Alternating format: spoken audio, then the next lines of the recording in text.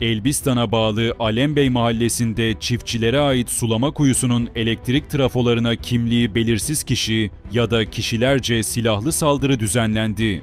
Olayda trafolar kullanılamaz hale gelirken yaklaşık 400 bin lira maddi zarar meydana geldi. Edinilen bilgilere göre Alembey mahallesinde çiftçilik yapan D, K ve A, G'ye ait tarlalarda bulunan sulama kuyusuna ait iki trafoya gece saatlerinde kimliği belirsiz kişilerce tabanca ile ateş edildi.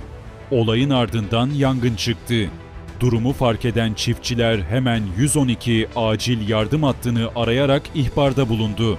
İhbar üzerine bölgeye itfaiye ve jandarma ekipleri sevk edildi. Yangın itfaiye ekiplerince kontrol altına alındı. Elbistan İlçe Jandarma Komutanlığı ekipleri de olay yerinde delil toplama çalışması yaparak geniş kapsamlı bir soruşturma başlattı. Jandarma ekipleri saldırıyı gerçekleştiren kişi ya da kişilerin yakalanması için çalışmalarını sürdürüyor.